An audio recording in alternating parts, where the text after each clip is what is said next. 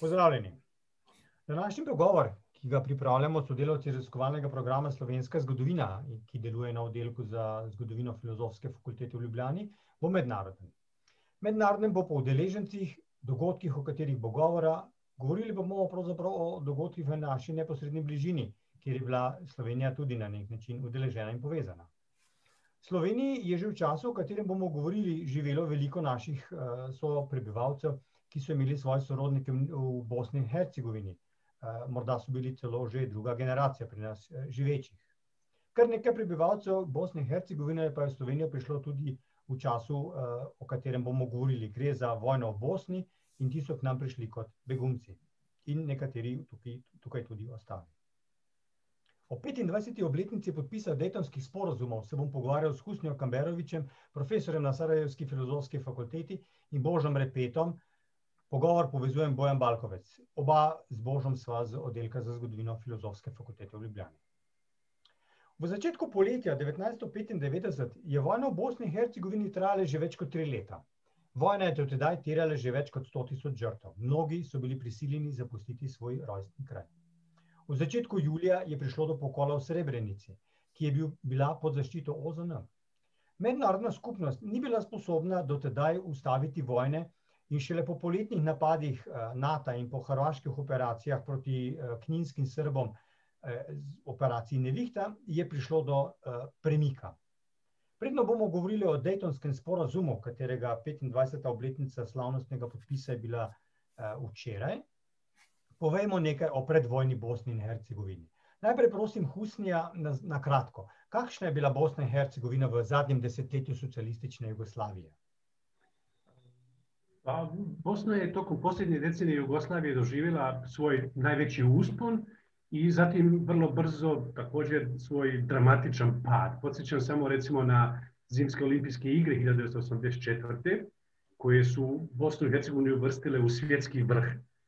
Popravili su imidž ne samo Bosne nego i imidž Jugoslavije u svijetu i Bosna više nije bila poznata samo po atentatu hiljadu devetsto četrnaeste nego i po ovim veličanstvenim Zimskim olimpijskim igrama, ali ubrzo je nastupilo otrežnjenje, počele su se nizati razne afere, nacionalizam se počeo širiti i po Bosni i Hercegovini, iako su nacionalistički poticaji uglavnom dolazili zapravo izvana, ponajviše iz Srbije i iz Hrvatske. Tu je onda naravno ova kosovska kriza počela ostavljati tragove na Bosni i Hercegovini, antiislamska propaganda koja se zbog toga širila iz Srbije, imala je svog odraza na stanje u Bosni i Hercegovini, ovdje je prvo recimo bilo neko suđenje srpskim nacionalistima, Vojislavu Šešelju je suđeno zbog širenja srpskog nacionalizma, onda je osamdeset došlo i do tog suđenja mladim muslimanima, ali druga polovica osamdesetih je bila još burnija, ne samo da su se počele buditi neke institucije civilnog društva kroz neke studentske pokrete, što je bio uticaj opet koji je dolazio iz Slovenije, nego su tu i neke druge stvari se počele odvijati koje su drmale bosansko-hercegovačko društvo. Počele se nizati afere jedna za drugom. Afera Agrokomerc recimo koja je raspolovila bosansko-hercegovačku vladajuću elitu, potom afera Neum koja je također veliki dio tada vladajuće komunističke elite u Bosni i Hercegovini zapravo slomila. Potom su slijedile neke druge političke afere u Bosni i Hercegovini, na primjer ta jedna afera vezana je, takozvana afera Kecmanović, dakle vezana je za tadašnjeg rektora Sarajevskog univerziteta, Nenada Kecmanovića, koji je bio jedan od potencijalnih kandidata za predsjedništvo SFRJ iz BiH, ali je optužen da je britanski špijun, pa je zbog toga prisiljen da povuče ili da se jednostavno povuče iz te kampanje. Pa je onda došla neka afera Moševac, kad su se već osjećali institucionalni utjecaj Miloševićevog takozvanog događanja naroda i na kraju jedna afera koja je vezana za tajno djelovanje srpskih obavještajnih službi u istočnoj Bosni. Ta afera je izbila također 90. godine i radi se o tome da su neki srpski obavještajci radili u Bosni, istočnoj Bosni pogotovo, da su širili glasine kako su Srbi u istočnoj Bosni ugroženi, kako bježe zbog političkog favoriziranja muslimana i tako dalje. To je na neki način dovelo do zaoštravanja odnosa. Bosansko-hercegovačko rukovodstvo je slabilo aferama, mladi se nisu, mladi lideri se nisu najbolje snalazili na početku 90-ih, počinje proces više stranačkog pluralizma i tad već imamo neko institucionaliziranje nacionalnih stranaka. Jel, Alija Izetbegović izlazi krajem 88. iz zatvora, ali on još tada nije neka poznata ličnost izvan tog nekog uskog muslimanskog kruga, ali onda 90. godina jel, i 90. dolazi do stvaranja novih nacionalnih političkih stranaka koje će se vrlo brzo, dakle srpska, hrvatska, muslimanska, koji će se vrlo brzo usaglasiti, napraviti svoj savez i na prvim izborima 90. godine odnijeti pobjedu. Čim su formirale vlast, naravno one su počele međusobno se svađati oko budućnosti i statusa Bosne i Hercegovine i te svađe koje su počele tad, dakle 91. Jel, nakon uspostavljanja prve vlade u tom višestranačkom sistemu, jel, vidimo da te svađe dakle, oko statusa i budućnosti Bosne i Hercegovine faktički traju sve do dana današnjeg. Dakle, htio bih zaključiti da mislim da, da je u tim posljednjoj deceniji Jugoslavije Bosna doživjela neki svoj uspon, ali je unutarnja, unutarnja njezina podijeljenost, dakle rušenje te stare komunističke elite dovela do toga da, da je ona zapravo od jedan put 1991. kad su neke nove snage došle na političku scenu bila posve nespremna i nesposobna zapravo da se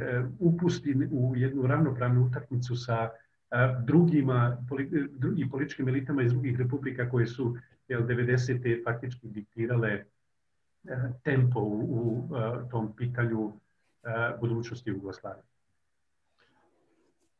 Poznamo ti znani rek, ne, kako se proizvaja več zgodovine, kot jo lahko predelamo, preži, obdelamo, preživimo. Ne. Kako je zdaj tukaj bilo na jugoslovanskem prostoru poleti 1991, ko sta Slovenija in Hrvaška razglasili samostojnost, Jugoslavija je razpadla. Božo, kako pa je zdaj tu funkcionirala Bosna? Vemo, njen temeljni problem je pravzaprav bila, pravzaprav bila njena večetnična sestava. In še naprej pravzaprav spet še na drugo vprašanje povezano s tem. Ne? Kakšni so bili pa slovensko-bosanski odnosi po osamosvojitvi? Kako je bilo to s nekim poročilom, ki ga je Milan Kučan o Bosni in Hercegovini pripravil v začetku leta 19, pardon, 2011 za slovensko vlado in je bilo potem objavljeno tudi v prevodu knjige o Kučanu, ki je šla pred časom v Sarajevo. No, če pogledamo stanje tik pred vojno v Bosni in Hercegovini, ne, je pač dejstvo, da je Jugoslavija do tedaj že skoraj da praktično razpadla. Ne.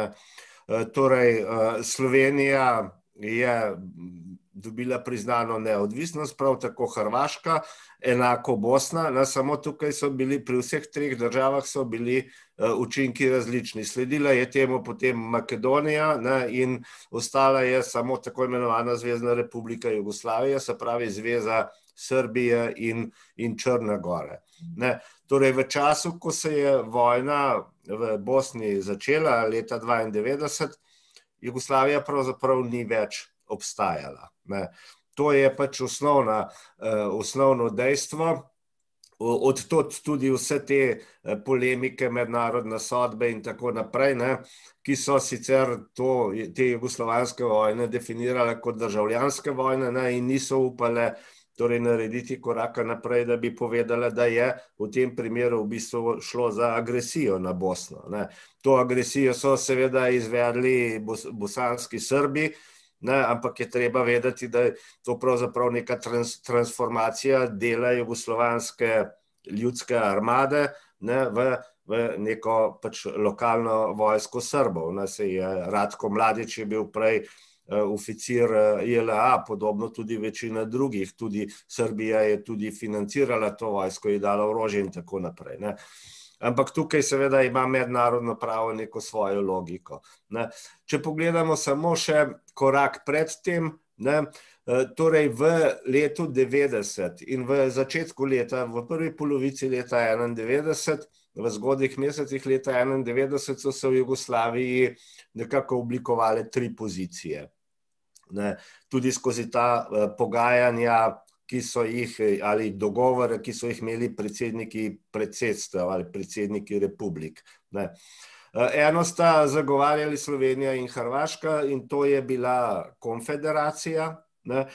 Drugo je zagovarjala centralna vlada, ne. to je bila torej, neke vrste čvrsta federacija, ki bi vladi dala več pooblastil.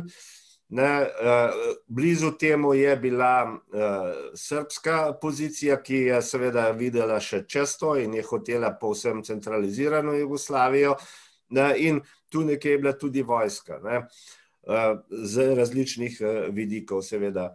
Dve republiki, Bosna in Hercegovina in Makedonija, sta iskali svojo pozicijo nekje vmes ne, in sta tudi dajali take predloge. Ne. Se pravi, Eh, neka federacija, ki pa bi vendarle pač mm, iskala kompromis med konfederacijo in to čvrsto federacijo. Samo vsi ti predlogi, o katerih so potem razpravljali, ali ideje, o katerih so razpravljali predsedniki, niso prišli do, niso prišli do, do, do izraza. Noben od teh se ni uresničil, zadeva je šla Eh, svojo pot, ne, tako kot je že opisal Husnija, pravzaprav v nek načrtovan mednacionalni konflikt znotraj uh, Bosne in Hercegovine. Ne, uh, kar zadeva Slovenijo, Slovenija je torej Bosni, ko se je začela vojna, pomagala oziroma skušala pomagati. To, zato je sicer tudi drago zaračunavala, ne, to moramo uh, vedeti. Ne, v bistvu je šlo za skupino ljudi, ne, za obramno ministrstvo, za Jana Zajanšo in skupino ljudi, ki so seveda s to trgovino z orožjem zelo dobro služili. Ne, te zadeve, kot vemo, nikoli pri nas niso dobile uh, sodnih epilogov, No, naslednja faza je bilo tako imenovano odkritje eh, torej orožja na Mariborskem eh, letališču. Ne, eh, o tem je nedavno govorila tudi spomenka Hribar v svojem odmevnem govoru.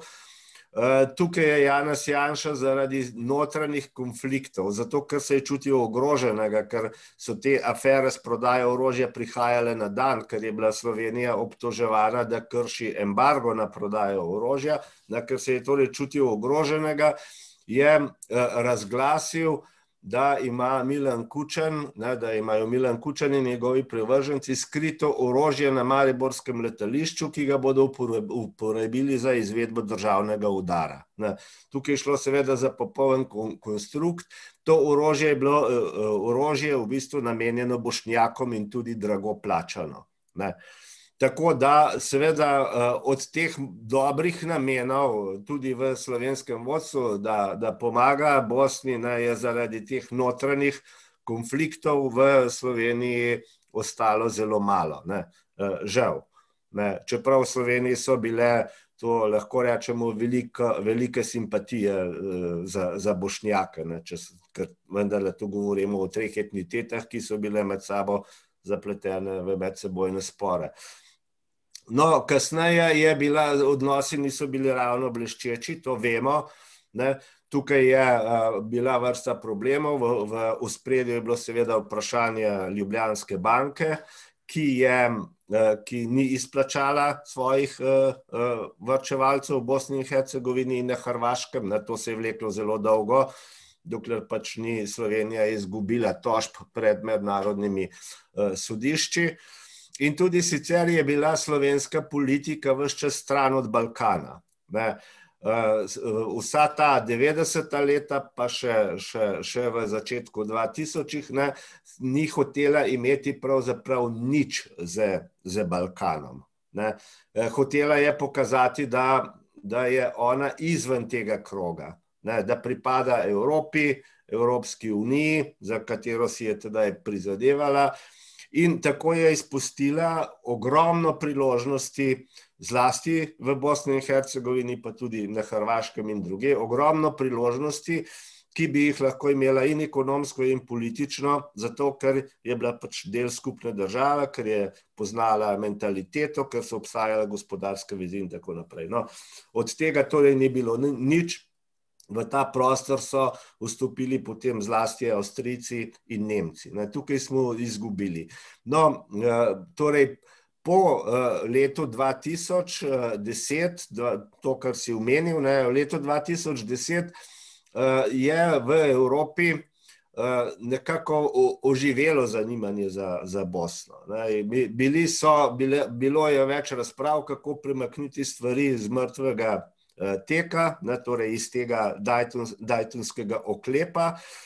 In uh, pripravljala se je neka uh, razprava ne, v Evropskem svetu, In v tem kontekstu je potem tedajni predsednik vlade, uh, Borut Pahor, ne, ki je hotel sedaj nenadoma imeti neke ambicije na, na Balkanu, ne, v mednarodni politiki, je imenoval Milena Kučana za posebnega poročevalca. Ne. In uh, Kučan je potem konec leta 2010, v, letu 2000, v začetku leta 2011, v resnici upravil številne pogovore v, v Bosni, ne, ker je poznal seveda večino zlasti teh eh, starejših politikov, pa tudi mlajših, in napisal neko poročilo. Ne. Eh, to poročilo potem ni imelo posebnega odmeva, čeprav ga je predstavil tudi predsedniku sveta EU, takrat je bil to Herman Van Rompuy. Ne. Je pa iz tega nastala neka afera, zato ker je eh, Borut Pahor potem iz tega poročila, sicer izven konteksta, ne, eh, eh, vzel neko misel in jo povedal javno v ZDA na nekem srečanju, da je treba računati tudi na razpad Bosne in Hercegovine. Ne. In to je povzročilo potem kar precej polemik, reakcij v, v hrvaškem in bosanskem Eh, tisku ne, na račun Milana Kučana. Čeprav, če preberete celo poročilo, ne, celovito, seveda Kučan ni mislil tega, on je pač opozoril na nevarnost. Ne, on je rekel, če eh, poenostavljeno rečem in s tem tudi končam, eh, Bosno, torej, Bosna je utesnjena v oklep Dejtonskega sporazuma, ki je hkrati tudi ustava. Tukaj sta dva eh, koncepta. Eden je koncept treh etnitet, ki hočejo, torej od katerih dve hočeta eh, se pravzaprav nekako osamosvojiti, torej Srpska in Hrvaška, eh, z mislijo na nadaljni korak priključitve k recimo temu matičnim državam, se pravi Hrvaški in Srbiji, ne? pri čemer seveda Hrvati niso imeli enakega statusa, kot, eh, kot uh, Srbi, ne, ker so bili v skupni bošnjaško-hrvaški uh, federaciji. Ne. Temu nasproti, nasproti pa stoji državljanski koncept uh, Bosne in Hercegovine, ne, ki naj bi presegel ta nacionalizma. Te nacionalizme. Politika je v to ujeta in ne najde izhoda, ne, in tukaj je, on izhajajo iz tega, da je treba Bosni pomagati, ne, vsaj do tega, da pride do Eh, neke, eh, nekega novega dokumenta, neke ustave, ne, ki bi nadgradila Dayton ne, in uh, da bi cilj pravzaprav moral biti, ne, že Daytonskega sporazuma, sploh pa tega uh, novega dokumenta, v tem, da Bosna postane normalna demokratična država, ki je sposobna živeti po načelih in merilih EU. Ne. Torej, on je pravzaprav posvaril pred tem, ne, da pred to stagnacijo, pred to zamrznitvijo. To je bistvo, eh, bi rekel, te naše zgodbe, ne, eh, ki, se je, ki, ki se ni končala prav uspešno, kar zadeva Bosno in Hercegovino. Eh, je, bil pa ta, je bilo pa to njegovo poročilo pravzaprav tajno ne, in je prvič objavljeno v njegovi biografiji, ki je šla v Sloveniji in tudi v Bosni in Hercegovini, torej pri Hustni, ne, ki je jo izdal v tej svoji založbi, tako da si lahko celovito poročilo zainteresirani preberejo, ne, ali v bosanskem jeziku ali v slovenskem. Da, da. Ako mogu samo da, da dodam, dakle, ovo o čemu je Božo pričao upravo to Kučano, taj Kučanov izvještaj o Bosni koji je on napravio, ili koga je Božo zapravo onda objavio u svojoj knjizi o Milanu Kučanu i mi to u Sarajevu prije prošle ili pretprošle godine smo objavili u prevodu Božine knjige o Milanu Kučanu, prvom predsjedniku Slovenije.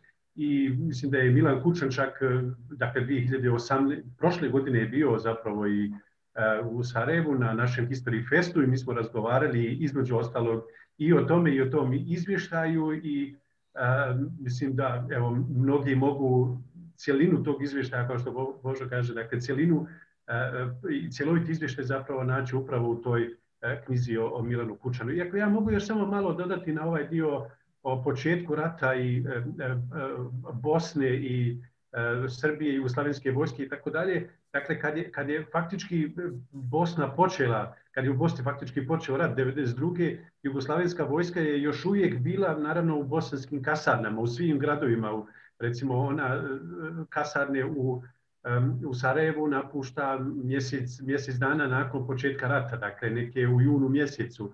E, e, dakle, Jugoslavijska vojska je na neki način iznutra e, sudjelovala još i kao Jugoslavijska vojska u tim ratnim operacijama, a onda naravno kad su se kad je, kad je Bosna dobila međunarodno priznanje, forma je nađena u tome da se oni navodno povuku, ali zapravo se nisu povukli, nego su sve jedinice koje su bile na prostoru Bosne i Hercegovine samo se transformirale u vojsku e, Republike Srpske. Dakle, koncept je bio vrlo, vrlo jednostavan. Oni su rekli svi koji su iz Bosne i Hercegovine rodom, e, mogu ostati u vojsci, ali više ne ostajete u vojsci, ta vojska se više neće zvati Jugoslavijska vojska, nego e, vojska Republike Srpske. I svo naoružanje koji su imali sve topove, tenkove i tako dalje, sve su ostavili toj sad novoj vojsci. Tako da to faktički jeste, kao što je Bože rekao, jel, neka vrsta transformacije e, Jugoslavenske vojske u vojsku Republike Srpske sa svim um, teškim i lakim naoružanjem koje je Jugoslavenska vojska imala na raspolaganju. Tej vojni so se že od samega začetka, pravzaprav že sam začetek te vojne v Bosni je bil uh, spopad, uh, je bil napad na civile, ne, kot se spomnimo tisto iz aprila uh, 1992. Ne. In že od samega začetka bila, je bila ta vojna, kar se tiče uh, posredovanja uh, uh, odnosa, izjav o odnosu do žrtev med civili, en velik cinizem. Uh, spomnimo se recimo znane izjave generala Kukanca, uh, ko so zajeli uh, Alijo Izebegoviča, da je on humanist. Kar je sicer malo v, v nasprotju, ker vojak pa humanist, to nekako težko človek razume, kako to gre skupaj. Ne? Vsi se spomnimo raznih zločinov nad civilnim prebivalstvom, od uh, bombardiranja Sarajeva, uh, pa recimo tržnico Markale, pa taborišča uh, za bošnjake v bosanski krajini in tako naprej. Husnja. Zakaj mednarodna skupnost ni odločneje posegla, uh, da bi vojno končala prej, ko pa so hitro, pravzaprav že od samega začetka vedeli, kakšni zločini se delajo nad civilnim prebivalstvom? Međunarodna zajednica mislim nije, nije na vrijeme našla pravi odgovor i nije na najbolji način reagirala e, na početak rata u Bosni i Hercegovini i tu je teško sad dokučiti šta su zapravo bili ključni razlozi. Neki to navode e, prosto to neko nesnalaženje e, Evrope, američko odsustvo sa, sa ovih prostora, odnosno odsustvo većeg američkog prisustva na, na, na, u ovom bosanskom i jugoslavijskom ratu, Oni su nekako očito da su, da, da, da su Sjedinje države Evropi prepustile e, to rješavanje i jugoslavenske krize i svi ovih problema s kojima se onda Bosna e, u ratu suočavala, uključujući ova masovna bombardiranja e, civila. Amerika se zabavila nekim drugim stvarima, njima je bilo stalo da, da, da, da se fokusiraju na taj mirni raspad Sovjetskog saveza, A, a Evropa vjerovatno nije imala ni dovoljno snage, niti dovoljno, ja mislim da nisu imali zapravo ni dovoljno razumijevanja zato što se u Bosni, e, u Bosni e, dešava. Mislim da oni nisu zapravo razumjeli bosanski, bosanski problem. Čak je e, Lord Carrington, mislim, na jednom mjestu napisao, a to je, čini mi se, i ovaj, Holbrook u svojoj knjizi prepričao kako mu je Carrington u jednom trenutku rekao da nikad nije se susreo s toliko lažova u politici kao što su pitanju ljudi sa, sa, sa Balkana. Dakle, on se, e, jednostavno Evropa je imala posla sa, sa lažljivcima političkim i ona to nije na najbolji način razumjela i pustila je prosto da, da traje taj, taj rat i da traju ta masovna ubistva i ubistva civila, bombardiranje Sarajeva. Čak je, toga se prisjećamo, francuski predsjednik Mitterrand došao i mnogi u Sarajevu su vjerovali, mislim da je to bila zabluda, ali su neki vjerovali da, da, bi, da bi mogla Evropa ili svijet ili da bi moralo se na neki način intervenirati zbog tog potpunog zatvaranja Sarajeva, jel, onda je Mitterrand došao, otvorio um, Sarajevski aerodrom jel, za dopremanje humanitarne pomoći. Oni su mislili da tom dostavom humanitarne pomoći zapravo rješavaju čitav problem, da su oni učinili ono što je do njih, a mislim da su mnogi, kao i u Americi, živjeli pod utjecajem neke literature, jel, koja je to sve što se dešavalo i na Balkanu i u Bosni tretirala kao nešto što je, što ima neke duboke historijske korijene, da su da treba ta plemena pustiti da prilično dugo iskrvare i onda kad oni u jednom trenutku požele da se smire, onda će, onda će Evropa tu ponovo i svijet na neki način uh, pokušati reagirati. Mislim da su se svi pomalo plašili tog uh, uplitanja, izravnog uplitanja u, u, u rat, bojali su se tih bosanskih planina, jel?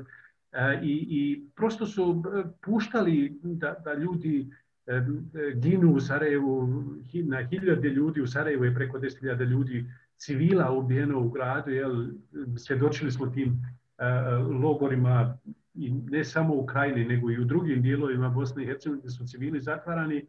Uh, i, ja mislim da, da, da, da dakle, sve je to bilo neka vrsta uh, nesnalaženja Evrope i ne, nenalaženja nekog pravog odgovora. S druge strane, ima jedno jedna interpretacija u kojoj treba voditi računa naravno i traži ona još neka dodatna um, ovaj dodatne diskusije. A, a neki kažu da, da je to Evropa zapravo i pustila zbog toga što su tu najvećim dijelom stradali zapravo uh, muslimani. Pa čak i Holbrook, mislim u svojoj knjizi na jednom mjestu zapisao da ne znam da li je to on držao govor ili neko drugi rekao a šta mislite da kako bi Evropa reagirala da da se e, ne ubijaju, da se ubijaju desetine kršćana ili jevreja na takav način na koji se ubijaju e, hiljade i hiljade muslimana. Dakle, mislim da, da i taj aspekt također treba uzeti u, u obzir zašto je Evropa e, tako nespretno i nepripremljeno ili nedovoljno snažno, odlučno reagirala na početku rata i znamo da će tek nakon što su se Amerikanci opet E, krajem rata uključili jel, doći do nekog tog e, bombardiranja i sve te e, neki stereotipi koji su se nametali početkom rata kao argument za izbjegavanje vojne intervencije, a koji se sastoji o tome da, da su to sukobljena plemena, da se tu Evropa i Amerika ne trebaju petljati, da će ukoliko se uključe u taj ratni obračun na Balkanu upasti u te bosanske planine kao što su, ne znam, upali u, u, u, u Vijetnamu, jel, da, da će se zakopati u bosanskim planinama. Mislim da, da zapravo kad su intervenirali konačno 95. pokazalo se koliko su bile koliko su bili u zabludi kad su na početku rata vjerovali u te razne razne stereotipe jer, jer se pokazalo da jedna robustna vojna akcija vrlo brzo može dati, dati rezultat. Omenil sem že prej na začetku, kaj je potem pripeljalo konec leta 1995 do zaključka vojne. Torej, na eni strani imamo eno največjih tragik v Evropi, saj tako jo vsi omenjajo in si s tem skušajo tudi roke oprati pomor, pomori v Srebrenici. Na drugi strani pa seveda vojaške operacije proti, proti Srbom, ki jih izvajajo hrvaške sile. To potem jeseni 95. pa pripelje, pa seveda bombardiranje, letalske bombardiranje NATO, pripeljejo potem do jeseni do nekega preloma. Uh, po različnih pripravah, ki so potekale že nekako od poletja naprej, so se potem od začetka novembra in do 21. novembra Eh, nekako, kot bi rekli, zaprli so jih v letalsko bazo in fanti, zdaj, dokler se ne dogovorite, ne bomo vas ven spustili, skoraj tako to zgleda. Ne? So torej tja posedli Alijo Izetbegoviča, eh, bosanskega predsednika, pa predsednika Hrvaške Franjo Tuđmana in predsednika Zvezdne republike Jugoslavije Slobodana Minoševiča. Gre malo za nenavadno okoliščino na teh pogovorih, ali pa se to zgolj zdi. Namreč na pogovorih so sodelovali Hrvaška in recimo Srbija, čeprav seveda formalno gre za Zvezdno republiko Jugoslavijo, ki pa sta vse čas izjavljali, kako v to vojno nista vpleteni. To se sliši vsaj malo kontradiktorno. Torej, kako to, da so se pravzaprav pogovarjali ti trije, dobro, vemo, bosanski Srbi so dali uh, svojo uh, usodo v roke na nek način formalno tudi z, z tem, da so ga označili za svojega zastopnika Slobodana Miloševiča. Ampak kljub vsemu, zakaj se niso pogajali pravzaprav sami med seboj, vse te tri entitete? pa mogoče vprašanje kar za oba. Ja, le, jaz bi najprej rekel to nadaljeval bi tam, kjer je Husnija končal. Ne. Zato, da je, da je sploh prišlo do intervencije, je več dejavnikov. Ne. Večino je on že povedal. Jaz bi tukaj dodal še to, da gotovo je bila Evropa popolnoma nemočna. Ne. Evropa je, kar zadeva celotno jugoslovansko krizo, uspela samo v Sloveniji z brionskim sporazumom. Ne. Vse povsod drugot je odpovedala. Ne. ZDA so se potem umešale tudi zaradi notranje političnih razlogov, ne, ker Srebrenica je imela ogromen uh, vpliv na javno mnenje in uh, Clinton v tistem času je bil pred dobro leto pred volitvami ne, in on se enostavno ni mogel privoščiti, da bi to postalo notranje politično vprašanje. Ne. In, in to je eden od pomembnih razlogov. Drugi pomemben razlog, ki ga jaz vidim in o katerem se malo govori, je prav vprašanje bošnjakov, takrat še muslimanov. Ne. Ker takrat se je vojna obrnila. Ne. Seveda se je obrnila v veliki meri pač zaradi te letalske zaščite, bombardiranja in tako naprej, in tudi zaradi bošnjaško-hrvaškega dogovora. Ampak se je obrnila. Ne. In to bi lahko pomenilo uh, veliko večje uspehe bošnjaške strani. Ne. Ker bi spet vojno obrnilo, se pravi, lahko bi se zgodilo nekaj takega, kot se je na Hrvaškem, ne, se pravi, eksodus Srbov, vsaj v enem delu. Razen tega, ne, če to postavimo v geostrateški koncept, ne, bi bilo seveda za ZDA, pa tudi za Evropo, tukaj se nimamo kaj sprenevedati, zelo problematično, če bi tukaj, tako kot so oni videli, nastala neka muslimanska država, ne, ki bi jo podpirala seveda arabske države, zahodnic, eh, torej zaveznice ZDA. Ne. Tako da tukaj je bil mnogo širši premislek, kot se morda zdi. Ne. Sam sporazum je pa temeljil na, na tistem, kar je že tudi povedal Husnija. Ne? Se pravi, vojna je prišla tako daleč, da, bo, da je sedaj ljudem vseeno in bodo, za, za mir bodo naredili vse in sprejeli vse. Ne? Sej, jaz nisem doživljal tega na srečo, Husnija pa je. In, in jasno je, si predstavljam, ne, če, če si celo vojno v, v Sarajevu, tako kot je bil on, da je vsaka rešitev, ki prinese mir, rešitev, ne, še zlasti, če ti jo označijo za začasno.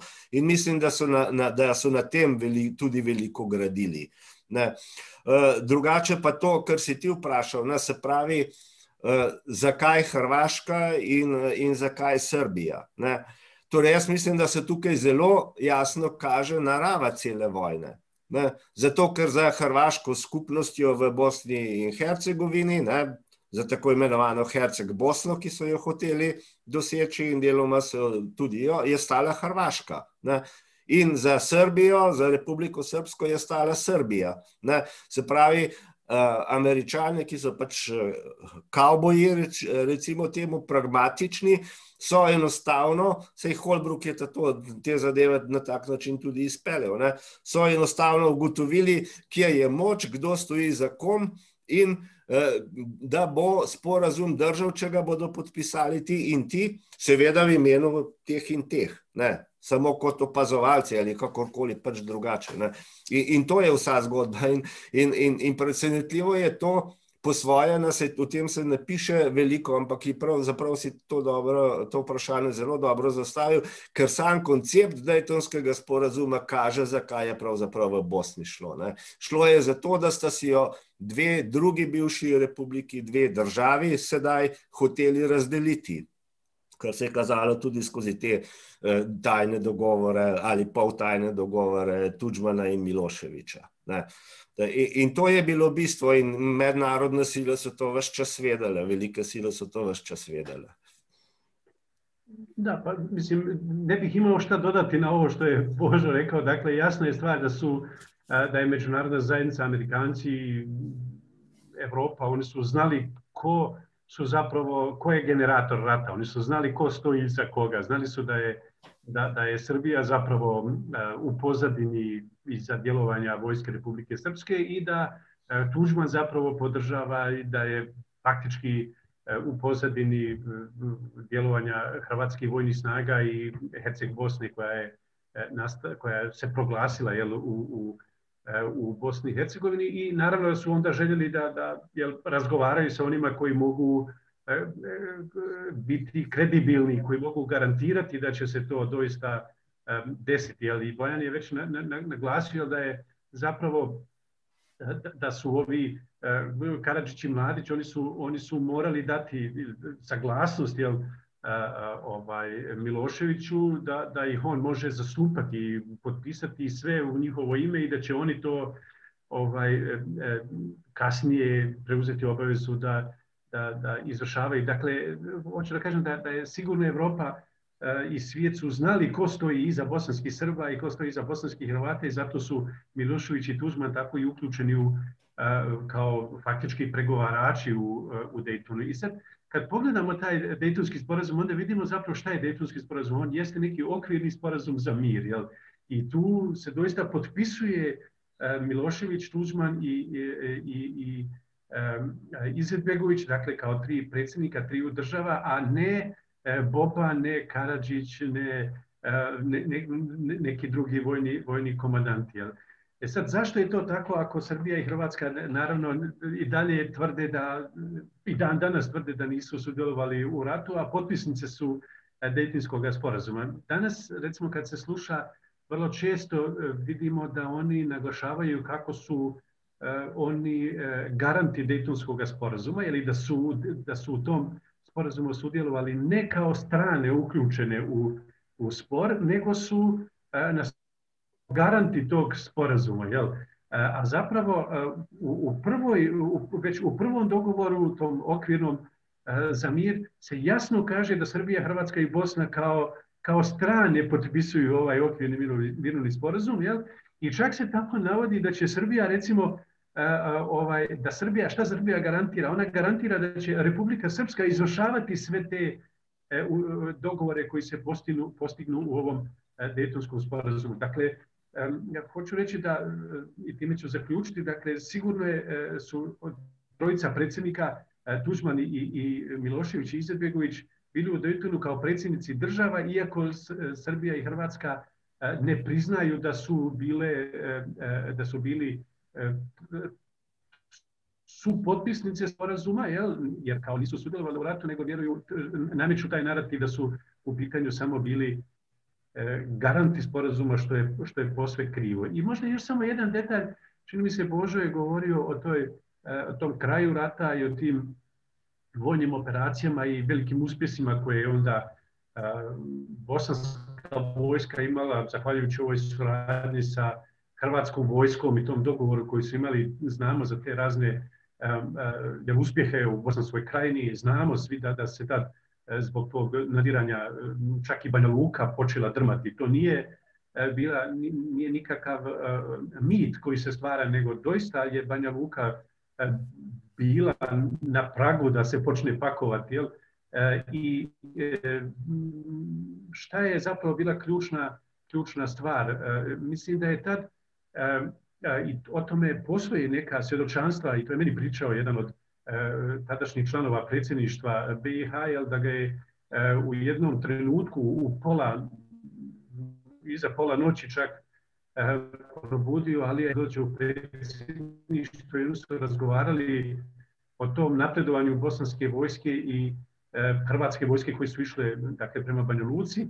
I onda ga je pitao šta misliš, da li trebamo pustiti da napravi, završi se ta operacija i da bosanska i hrvatska vojska uđu u Banju Luku. Jel? A šta je zapravo tad bila briga Izetbegovića? On je pitao ako uđe u Hrvatska i Srpska, Bosanska vojska u Banja Luku, da li će Hrvatska vojska zapravo zaposjesti Banja Luku, to je s jedne strane, i s druge strane šta će se desiti, da li je moguća Bosna ukoliko i, bosanski Srbi napuste i Bosnu kao što su to napravili e, e, hrvatski Srbi jel, e, nakon ovaj oluje. Jel. I tu je nekako bilo to dvoumljenje i naravno još uz prijetnju koja se uvijek navodi prijetnju Amerikanaca, oni su zaustavljeni, ali mislim da je tu bio i taj strah da, da i kod Izetbegovića s jedne strane da, da bi odlazak bosanskih Srba značio možda je to tad krivo on procijenio, a možda i dobro, jel, ne znam, neću sad to da ulazim, ali on je procijenio da bez bosanskih Srba zapravo ne bi bilo moguće reintegrirati Bosnu. E, s jedne strane, dakle, ako bi taj dio e, još napustio, i, e, i s druge strane plašio se da ti dijelovi zapravo ne bi ušli ili ne bi mogli ostati u Bosanskoj republici, nego bi tu se moralo dalje nadmetati sa Tuđmanom koji bi taj dio nastojao priključiti, priključiti Hrvatskoj. Tako da to je još možda neki, još jedna, ovaj, još jedna tačka koja može pomoći da razumijemo zapravo šta se to desilo i zašto je onda svijet i, i, i kako bi rekao, vojnički onda intervenirao jel, da, da, da se zaustavi bosanski rat. Dobro, pojdimo zdaj k samemu Daytonskemu sporazumu. Ta je bil najprej notificiran v Daytonu, v bazi, kjer so to, eh, ta, pogajanja potekala. Na to pa so pripravili slavnostni podpis pred evropskimi politiki. Clinton je prišel, eh, je ruski, seveda Črnomirdin, v Parizu 14. decembra 1995. Pravijo, da so sporazumi prinesli mir. Eh, konec vojne in mir v glavnem razumemo kot začetek nečesa novega. Za začetek je to recimo kaznovanje krivcev, eh, na to postavitev sistema, ki ne bi zagotovil nek trajen razvoj, ki bi onemogočil nevarnosti, da bi se eh, kakršenkoli mir spet prekinil. Husnja, ti seveda kot nekdo, ki živi v Bosni in Hercegovini, tudi v času vojne in seveda tudi po Daytonu, lahko na to odgovoriš na dva načina, kar bom vprašal. Kot seveda prebivalec in kot zgodovinar. Kaj je torej zdaj Daytonski sporozum? So ti prinesli mir le v smislu, da se prekine vojna, eh, ali pa so prinesli mir v smislu, da so postavili pogoje za uspešen razvoj eh, države, eh, ki ne bo pod nevarno, v nevarnosti, da jo najmanjša sapica, najmanjši vetrič prekucne vrže iz tirov. Glede na stanje, kot je danes v Bosni, se bojim, da pravzaprav vem, kaj boš Eh, kaj boš odgovoril. Ne? Bosna gospodarsko eh, stoji na mestu, politični razvoj je pravzaprav eh, vojna na nek način samo malo prekinila, pravzaprav smo bolj ali manj na istih. Pustimo zdaj zadnje občinske volitve, te so recimo prinesle neke nenavadne spremembe, ki pa seveda stare duhove, ki so še zelo močni, zelo, zelo, zelo skrbijo. Eh, no, pa dodajmo za konec še današnjo izjavo, oziroma izjavo, ki jo danes beremo v časopisih, ko je v Bosno in Hercegovino prišel na obisk eh, eden od, eh, recimo, spet garantov Daytonskega mira, ruski, ruski zastopnik, torej zunani minister Lavrov, ki je izjavil, da se londonskega, pardon, da se Daytonskega sporozuma ne spreminja, kar seveda je popolnoma nasprotju s tistim, kar slišimo, oziroma kar verjetno bo Husnija povedal. Izvolite. A, mislim, prvo, kao čovjek koji živi u Sarajevu i čitav rat sam proveo ovdje u, u Sarajevu, znam da je konačno potpisivanje sporazuma i e, uspostavljanje nekog mira, prestanak pucanja za nas e, koji smo živjeli u gradu, stvarno u tom trenutku jako puno značilo. Dakle, kao građani, kao stanovnike, znamo da je e, uspostava mira, prestanak pucanja i prestanak ubijanja bilo vrlo važno. U tom trenutku kao, kao čovjek koji je živio tu, dakle nismo uopće, ja barem nisam razmišljao kako će se dalje država izgrađivati i šta to zapravo znači. Ključno je bilo da prestane, prestane ubijanja i u tom smislu smo svi kao, kao ljudi koji su četiri godine preživjeli te ratne strahote, izloženi svakodnevnom granatiranju, životu u nekim nehumanim uvjetima bez struje, vode, sa vrlo malo hrane ili bez hrane i tako dalje. Dakle, svima nam je potpisivanje sporazuma, zaustavljanje rata jako puno, jako puno značilo. E sad, naravno, druga je stvar kad to gledamo iz sadašnje perspektive, šta je to, šta je to značilo i da li je taj, da li je takav sporazum kakav je potpisan ključni problem zašto Bosna ovoliko dugo stoji u mjestu, zašto nemamo napredak u tim demokratskim u tom demokratskom razvoju, ekonomskom, zašto smo jako siromašni, zašto smo korumpirano društvo i tako dalje. Svi nekako pokušavaju svu krivicu prebaciti na Dayton. I kažu, Dayton je kriv za sve. To je neka luđačka košulja, u toj košulji se ne može, ne može funkcionirati. I ja bih se samo djelomično složio s tim. Vjerujem da takva organizacija države kakva je napravljena u Daytonu, koja, koja promovira isključivo etničke podjele, daje prostora etničkim elitama da, da se održavaju na vlasti, inzistirajući samo na tom, na tom etničkom principu, a to onda zapravo koriste da provode korupciju, da se bogate i tako dalje. Dakle, takvo ustrojstvo države je omogućilo takvim korumpiranim političkim, etničkim elitama da se drže na vlasti i da se uvijek pozivaju na te dejtonske odredbe, da se pozivaju na nacionalna prava, da se pozivaju, ne znam, na ovaj, to smo mogli svjedočiti nekoliko puta, na primjer kad HDZ poziva se na očuvanje vitalnog nacionalnog interesa, a raspravlja se, na primjer, o oporezivanju, ne znam, sportskih kladionica koje drže uglavnom ljudi koji su bliski HDZ-u. I onda kad država odluči da oporezuje sportske kladionice, onda oni ističu da je to vitalni hrvatski nacionalni interes. Dakle, hoću da kažem da je ovako ustrojstvo uspostavljeno Daytonom onda otvorilo mogućnost da se i ta, da, da se taj princip do, do svoje karikaturalnosti zapravo zloba, jel? I da, da, ovaj, da otežava zbog te karikaturalnosti, da, da otežava funkcioniranje države. Ali, ali ima u nekim dijelovima gdje taj Daytonski sporazum i zapravo nije toliko, nije sam kriv, jer zbog toga što je lošava, što država loše funkcionira i što mi u ekonomskom smislu um, loše stojimo. Recimo, naši će u Sarajevu najče, najčešće optužiti Dodika za problem ako mi nemamo levu vode ili ako imamo pse lutalice na ulicama ili ako imamo, ne znam, hiljade nekih drugih problema. Ali to nije problem onda tog dejtonskog ustroja, nego problem političkih elita koji nisu u stanju zapravo rješavati te probleme ljudi. Dakle, Dayton je loše rješenje. On, on, on kroz to promoviranje isključivo etničkog predstavljanja otvara mogućnost da se to do karikaturalnosti zloupotrebljava jel, i to, to, to ovaj, ne, ne dopušta državi da ide naprijed.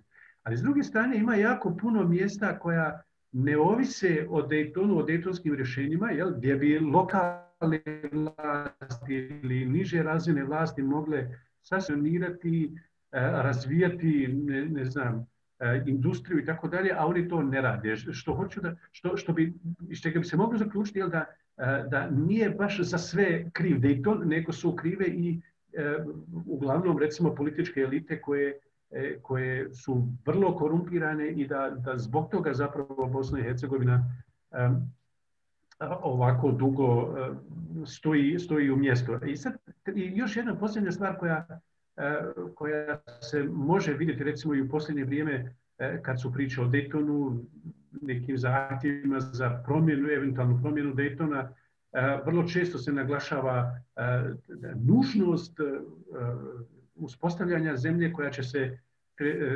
zasnivati na nekim građanskim vrijednostima razvoja građanskog društva, a ne na temeljima isključivo etnodemokracije. I to je naravno jako dobro, ali problem je što onda oni koji se, mnogi koji se zalaže za tako građansko društvo zapravo nisu, nisu kredibilni jer, jer s jedne strane govore o građanskom društvu, ali zapravo s druge strane radi isključivo na jačanju tih etničkih, etničkih politika. I to je, mislim, problem i danas u Bosni. Mi smo skoro, recimo, i uoči ovih lokalnih izbora imali, na primjer, primjer gdje je jedan, jedan kandidat za izborima, na, na izborima jel, prijetio čak onima koji su se u, u izbornoj kampanji zalagali za građansku Bosnu i Hercegovinu. Jel? A, njegova stranka se navodno zalaže za, za građansku Bosnu i Hercegovinu. Tako da, da, da tu je dakle neka vrsta nekredibilnosti i ovih političkih snaga koje dijela političkih snaga koje se zalaže za, za neke, ne, neko građansko, građansko društvo. Pa zaključimo morda z nekom, nekim drugim uh, delom.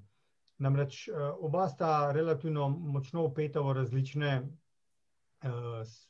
aktivnosti, tudi družbene uh, in družbene aktivnosti, ne zgolj historiografske. Uh, recimo uh, znotraj historiografskega polja, pa vseeno omenimo, oba dva so, avtorja listine zgodovinarji proti revizionizmu. Za Husn je vprašanje, kako je za manipulacijo zgodovine in vprašanje, eh, kar se tiče razpada Jugoslavije, pa vojne v Bosni, v obeh entitetah oziroma v obeh eh, konstitutivnih delih eh, Bosne.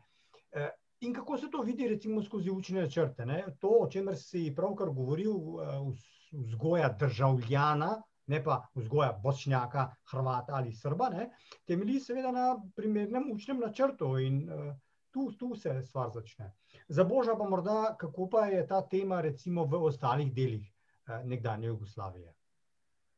Pa morda Husnja najprej, potem pa Boža. Ja ću, ja ću kratko. Dakle, ovdje, je, ovdje su pogledi na raspad Jugoslavije u historiografiji i u školskim učbenicima naravno podijeljeni. I to je odraz našeg podijeljenog, eh, podijeljenog društva. Naši školski programi su eh, podijeljeni, naši učbenici istorije su podijeljeni. Ovdje postoje tri nastavna plana i programa, jel, postoje tri, uh, tri učbenika, odnosno više učbenika, ali svi se učbenici uklapaju u ove tri, nacionalna nastavna plana i programa, dakle srpski, hrvatski i, i bosanski, pa su onda učbenici na tri jezika, srpskom, hrvatskom i bosanskom, iako naravno svi znaju, ali uh, u pitanju je uh, ovaj, velika, velika podijeljenost, dakle, kad je, kad je u pitanju gledanje na, i, na ovaj na, početak rata i na raspad Jugoslavije kao i na raspad čitave na, na čitavo zapravo jugoslavensko razdoblje. Svi naglašavaju nekako samo loše strane.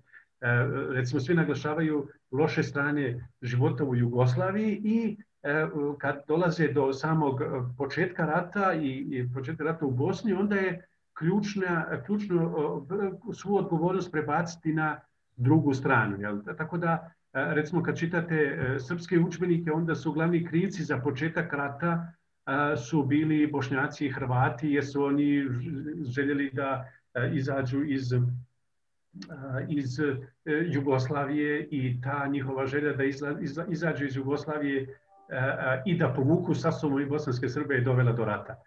Kad čitate bosanske učbenike, onda Srbi su ključni krivci za početak rata jer su oni to već dugo pripremali, željeli su čitavu Bosnu uključiti u, e, u Veliku Srbiju i tako dalje. U hrvatskim učbenicima je e, otprilike isti narativ. Ključni krivci su bili e, Srbi, ali su onda i Bošnjaci doveli do izazvali rat sa Hrvatima jer su željeli nekako te teritorije koje su onda tokom rata gubili u ratu sa Srbima nadoknaditi osvajanjem na račun, račun Hrvata. Dakle, ovdje imamo tu, tu jednu čitavu taj krug se tako nekako zatvara i zapravo nemamo još uvijek neku ozbiljnu ili pravu, pravu historiju onoga što se, što se ovdje dešavalo, nego apsolutno podijeljenu, kažem, po, po ovim, po, po, možda ne, nisu svi istoričari uključeni u te nacionalne okvire, jel?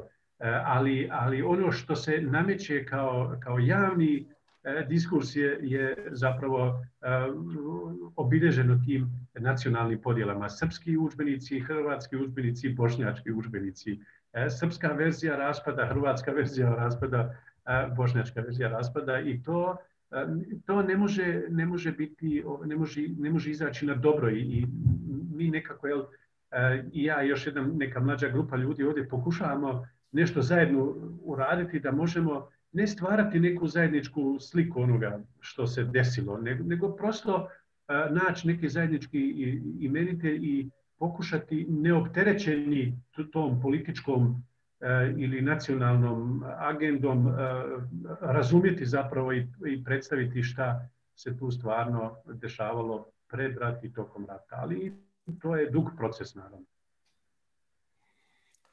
Ja, naj, najprej še dva stavka o, o, o Daytonu, rečem, ne, Daytonskem sporazumu. Torej, brez dvoma je njegov velik dosežek, da je prekinil vojno. Ne. Se je, Husnija je to že zelo plastično upisal iz osebne izkušnje. Jaz vem, da mi je enkrat pripovedoval, kako je moral celo vojno dvakrat na dan čez prav, torej čez brisani prostor, kot rečemo, ne, čez prostor, ki so ga kontrolirali srpski ostrostrelci, torej dvakrat na dan v službo in iz službe teče in to, če si to samo to predstavljaš, ne, je jasno, da si želiš konec vojne. Ne. Uh, tako da to je velik dosežek. Ne. Uh, najbrž je velik dosežek tudi, da je Dayton rešil Bosno kot državo. Ne. Ker to moramo vedeti, v vseh teh vojnah na območju uh, nekdanje Jugoslavije je bila edino Bosna in Hercegovina torej, ogrožena kot država. Posod drugot je šlo za to uh, več, manj ozemlja, ne, samostojnost in tako naprej, uh, ne, pa, ne, ne pa vprašanje neke ozemeljske državnosti, celovitosti in tako. In, in, to, in, in to je gotovo druga velika zadeva. Uh, vendar je hkrati Eh, tudi tega nismo rekli, ne, še eh, je hkrati torej zacementiral etnična čiščenja. Ne. Torej, Dejtonski sporazum, ne, današnja Bosna je v bistvu izrasla iz tega, kar je bilo v vojnah doseženo, ne, vključno z etničnimi čiščenji. In, in to je tisto, kar je duši tudi danes od ta uh, politika treh etnitet, ki ne more uh, recimo, ne, ki, ki jo ta državljanski koncept ne, Bosne ne, ne more premagati. Ne. Eh, kako je s političnimi elitami, pa vemo, da je v Bosni še dodaten problem, ampak tudi pri nas, recimo, politične elite ne morejo, se ne morejo dogovoriti o eh, recimo nekem normalnem volivnem zakonu, ker jim to ne ustreza, ne, ker je to pač bistvo njihovega obstoja. In, in tukaj je pa to še seveda stokrat hujše. Eh, no, kar zadeva zgodovino pisja na ozemlju nekdanje eh, Jugoslavije, eh, je treba nekaj reči. Na vse te državice, ki so nastale, ne, pravzaprav že 30 let, se nekako že 30 let soočajo z nekakšnim postjugoslovanskim sindromom. Ne, ne glede na to, ali jim je uspelo priti v EU kot Sloveniji in Hrvaške ali jim ni, Eh, tukaj je eh, ogromen manjko demokracije in tukaj je zelo veliko nacionalizma in to je eh, hrana torej tudi za odnos do zgodovine. Na zgodovina je v naših državah politika v bistvu. Ne, to, to sploh ni novejša zgodovina, ne, ali pa sploh zgodovina, ker gre lahko tudi do srednjega veka, je pri nas politika. Ne.